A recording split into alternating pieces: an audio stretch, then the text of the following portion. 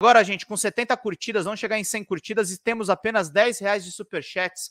Mandem superchats, contribuições que são bastante necessárias, gente. Vamos falar da Jovem Pan, que a Jovem Pan, que era protegida pelo YouTube, que tinha um acordo de favorecimento do YouTube, finalmente foi prejudicada. Veridiana Carvalho, bom dia, querida. É, Caio Cabeça mandou bom dia a todos. Que manhã gloriosa. Jovem Clã desmonetizada, golpistas sendo multados e humilhados, só faltam as prisões dos bozofascistas que ainda estão cometendo violência. É, Luiz Giglione, o problema é que eles esqueceram de dizer qual, é, qual falha era essa, resultado, inclusão nos inquéritos das fake news, das milícias digitais contra a democracia. Por que choras, Valdemar? Marisa Borges, bom dia. Hoje é felicidade de ter visto o Alexandre de Moraes acabar com a palhaçada do PL. Xandão é o cara. Façam como a Sandra Araújo, mandem superchats, mandem contribuições para a gente poder acompanhar. Leonardo Salomão, querido, fica tranquilo, a sua audiência já está nos ajudando. Infelizmente, meu celular quebrou, preciso comprar um novo, mas ainda contribuirei com o canal monetariamente assim que puder. Dá para você fazer pelo computador, meu querido, é só o cifrão aqui embaixo, você clica e coloca os dados do seu cartão de crédito ou cartão Google que você consegue fazer justamente as contribuições. A Jovem Pan se ferrou, gente. E o Carlito também gravou um vídeo a respeito disso. Hoje eu vou prestigiar meu amigo Carlito Neto. É, e aí ele gravou um vídeo a respeito disso que é bastante bacana para a gente acompanhar. Eu vou deixar já o vídeo no ponto aqui para vocês assistirem comigo. É, não é por isso. É... Ah, entendi, Leonardo. Fica tranquilo. Compra o seu celular e toda a força para você, meu querido, para todo mundo poder acompanhar. Eu achei que fosse um problema técnico, por isso que eu falei da, do computador. Vamos lá. Carlitão mandando ver. Com essa, esse oba-oba em relação a anular a eleição, utilizando ali uma suposta fragilidade das zonas eletrônicas, se enquadrava no que a gente chama, no, no exercício do direito, né, na operação do direito, de litigância de má-fé e o Xandão foi lá e determinou isso, inclusive, também na peça ali que puniu o PL com 22 milhões de reais de multa. Eu vou fazer um vídeo sobre isso também.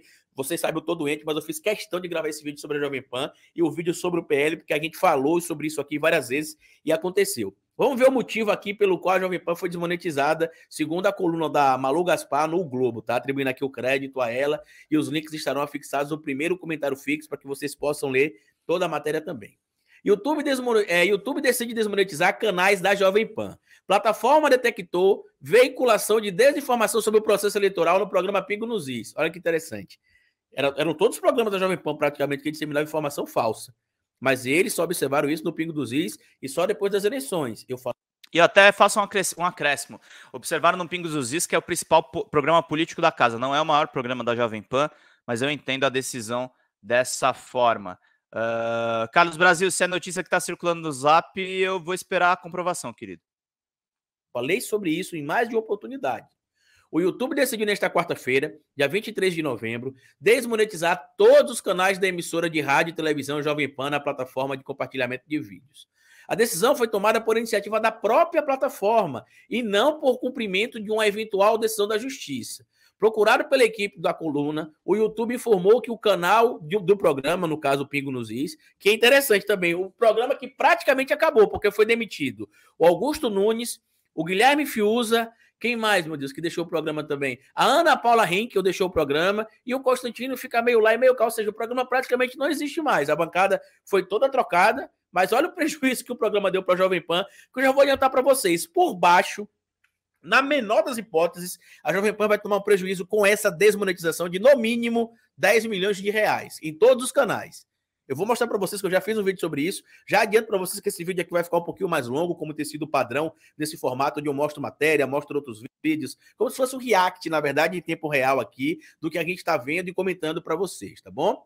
Uh, procurada pela, pela equipe da coluna, o YouTube informou que o canal do programa, Os Pigos dos Is, incorreu em repetidas violações das nossas políticas contra a desinformação em eleições e nossas diretrizes de conteúdo contra a desinformação em eleições e nossas diretrizes de conteúdo, perdão, adequado para a publicidade, incluindo as relacionadas a questões polêmicas e eventos sensíveis, atos perigosos ou nocivos, além de outras políticas de monetização. O YouTube, gente, tem uma ferramenta que a gente que é produtor de conteúdo conhece bem, chamada autoavaliação. O que é essa autoavaliação? A gente, quando publica um vídeo na coluna do YouTube, o publicam no YouTube, perdão, a gente preenche lá que o vídeo é apto à monetização e ele pede para a gente fazer uma autoavaliação dos temas que a gente aborda no vídeo. Por quê? Porque antigamente a gente tinha um problema de monetização no YouTube que era assim. Eu fazia um vídeo dizendo que a cloroquina fazia mal à saúde, que era, vou beber água aqui porque minha garganta tá seca e vai começar a coçar. Eu fazia um vídeo dizendo, por exemplo, que a cloroquina fazia mal, né? Não tratava a Covid. E aí vinha um bolsonarista ligado à Jovem Pan e fazia um vídeo dizendo que a cloroquina era saudável, era boa. E aí o YouTube ia lá e desmonetizava o meu vídeo e o vídeo deles. Ou seja, desmonetizava um vídeo que era com base científica, igual ao vídeo que era de disseminação de informação falsa. E a gente reclamou muito, né? Nós que somos produtores de conteúdo no mundo inteiro começaram a reclamar. Eles desenvolveram essa ferramenta que chama-se ferramenta de autoavaliação. Aí lá você diz, por exemplo, né? Tem as opções lá que você pode marcar. Ó, se o conteúdo a, trata sobre atos é, perigosos ou nocivos, se o conteúdo também trata de questões polêmicas, aí você marca lá se o conteúdo tem discurso de ódio ou não. Se você não marcar, o que acontece? O YouTube detecta que você mentiu e pode suspender a sua monetização. Então, ele entendeu duas coisas aqui, né? Aparentemente. Primeiro, desculpa, tá? Que o YouTube não estava preenchendo corretamente a autoavaliação da monetização. E segundo, que o YouTube estava infringindo ali o que diz as diretrizes da, da própria plataforma do YouTube. Isso demorou de acontecer. Deixa eu só beber mais um pouquinho de água aqui, tá? Carlito bebendo água. Vamos lá, gente. Vão curtindo, vão compartilhando, vão curtindo, vão compartilhando, vão curtindo, vão compartilhando. Mandem essa live real, mais real time ficarem. aqui, gente. Vamos assim mesmo, tá? Isso demorou de acontecer, mas o YouTube tomou alguma atitude que é o que importa, pelo menos. Tudo bem que teve estrago todo que já foi feito até aqui, gente que foi desinformado, que foi pra rua, que pegou o Covid, que morreu e tudo mais, mas algo está sendo feito e a punição começou, tá bom? Atos perigosos ou nocivos, além de, de outras políticas de monetização. Dessa forma, suspendemos a monetização do, do, do respectivo canal e dos outros que integram a rede Jovem Pan no YouTube, de acordo com nossas regras, esclareceu a empresa. Além de entrar na mira do YouTube, a Jovem Pan é alvo de ação que tramita no Tribunal Superior Eleitoral e investiga se a emissora deu tratamento privilegiado a Jair Bolsonaro durante a campanha. Deu e vão descobrir também muito em breve e vocês vão ver a punição. Eu falava disso também lá no meu vídeo de agosto, que eu vou mostrar para vocês já já também, tá? Um trecho.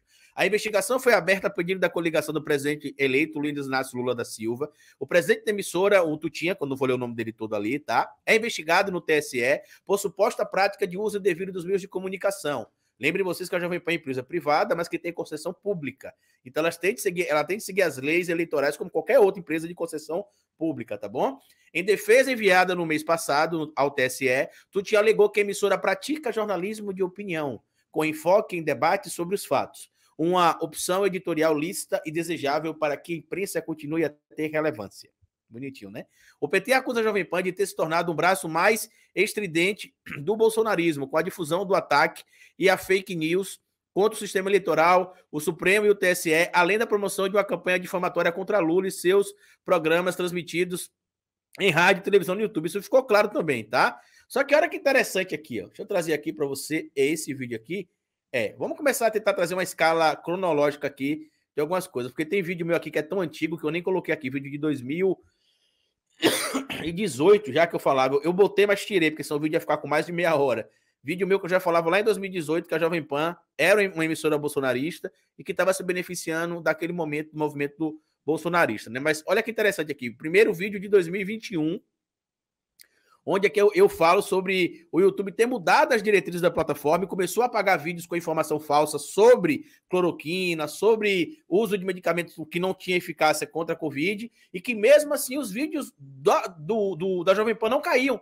Caiu o vídeo da Leda Nagli, caiu o vídeo do Alexandre Garcia, caiu o vídeo da própria live do Bolsonaro pouco tempo depois, mas não caía vídeo da Jovem Pan. Olha aí, ó ao passo de que conteúdos inapropriados produzidos na plataforma eram apagados, alguns canais deixaram de ser monetizados e outros canais foram excluídos da plataforma justamente por não seguirem corretamente as diretrizes desta plataforma aqui. O problema é que agora, por conta da CPI da Covid-19, muitos apoiadores do presidente Bolsonaro têm apagado vídeos da plataforma. Ou seja, a plataforma mudou, como vocês viram ali, as diretrizes, aí prontamente eles foram lá e começaram a adequar, digamos assim, o conteúdo deles, né? E aí, olha o que aconteceu aqui, que interessante para vocês. Repara o que aconteceu, tá? Duas coisas interessantes para a gente falar aqui, ó. A primeira, vídeo publicado há nove meses atrás, ó, dia 19 de fevereiro. Olha o que esse vídeo falava aqui, ó. Escutem com bastante atenção. as normas do mercado capitalista, Monark. Por isso que você não era dono do meio de produção. Tanto que quando o YouTube agora diz que não vai te pagar nada pelo seu trabalho, você não vai receber, mesmo você sendo parte da máquina. Quando você foi indagado, você falou: não, eu sou sim, né, o dono do meio de produção. Então, sim, eu sou capitalista, né? Eu sou o capitalista, eu sou o dono do meio de produção. E agora você entende que, na verdade, não. A gente que está aqui na plataforma é uma mera máquina do sistema. Tá vendo aqui? Isso aqui é, é o, o YouTube punindo o Monark né? E olha o título ali. Eu vou, eu vou chegar na parte que eu quero dos programas da Jovem Pan que eu já falava, tá? O YouTube puniu o Monark, puniu o Flow, mas passou o pano para bolsonaristas. Que aqui eu perguntava, por exemplo, quando é que vou desmonetizar a Jovem Pan? Vocês vão ver, eu não vou botar esse vídeo na íntegra, não, mas vocês vão ver mais na frente. E olha que interessante aqui, esse vídeo aqui e específico também, ó, que eu deixo claro aqui que a Jovem Pan mudou é, as diretrizes, tá? O YouTube mudou as diretrizes é, para poder punir os canais, e mesmo assim não estava punindo. E aí um professor de universidade descobriu, fez uma lista ali de canais e perfis que estavam disseminando informações falsas sobre a Covid e sobre outras, outras situações. E adivinha qual era uma das líderes ali, se não a líder de informação falsa? A Jovem Pan. Olha a data aqui desse vídeo também publicado há sete meses atrás, é 25 de março. Por que, que eu estou fazendo questão de citar essa, essa, essa ordem cronológica e essa quantidade toda de material? Porque eu estou vendo muita gente, vendo muita gente desesperançosa com o futuro do Brasil, que ah, não vai ter punição para ninguém, ninguém vai ser preso, ninguém vai ser punido. O Gabriel Monteiro está preso. Só para lembrar para vocês. A Jovem Pan foi desmonetizada. Os perfis bolsonaristas caíram. O Alan dos Santos teve o passaporte cancelado. O tic-tac está contando. O tic-tac está contando. O PL hoje foi multado em 22 milhões de reais. Então, assim, a gente precisa parar de ficar com essa ideia de que, ah, não vai dar certo, e entender que as coisas requerem um tempo, precisa ser de um, um, um protocolo, às vezes, de, de, um, de, um, de um cronograma, e às vezes não é como a gente quer, tá? Mas vamos ver aqui esse vídeo de março de 2022 agora.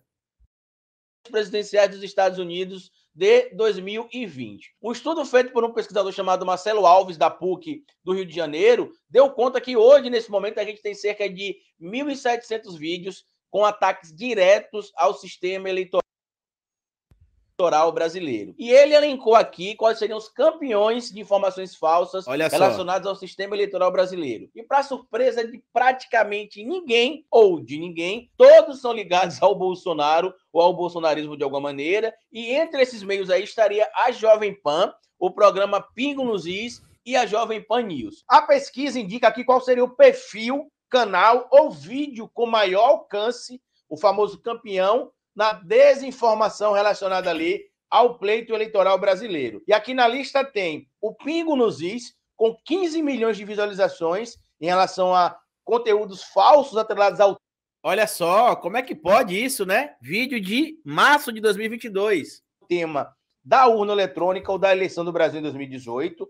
A Folha Política, que também é ligada ao Bolsonaro e ao bolsonarismo, com 12,6 milhões de visualizações. A Jovem Pan News, com cerca de 2,5 milhões de visualizações.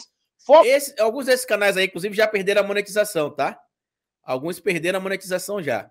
E olha que interessante, esse vídeo aqui, ó, esse aqui é, é de 17 de 18 de março, de agosto. Mas tem um do dia 17 de agosto. Deixa eu procurar ele aqui para colocar para vocês também. Que eu... Mas é isso, gente. O Carlito ele faz uma análise muito profunda a respeito da Jovem Pan há bastante tempo. É, é fundamental o que ele está colocando aqui. E a justiça chegou, gente. O, o, o, jogo virou. Até então, sim, a Jovem Pan era, era blindada. Tem a reportagem da Piauí, mas antes da própria reportagem da Piauí, eu já tinha encontrado vídeos do Tutinha falando que ele tinha um acordo especial com o próprio Google para ter um aumento de lucros aqui dentro da plataforma. É, então, é, e é um pouco o que o Ricardo Abad está falando aqui, ó. Só cancelou a monetização da clã para não pagar uma multa milionária. O bicho vai pegar e o YouTube está se protegendo. Exatamente. A lógica do YouTube é não ser processado. O YouTube não quer entrar, pelo menos não formalmente, pelo menos não a ponto de pagar multas num inquérito do Alexandre de Moraes.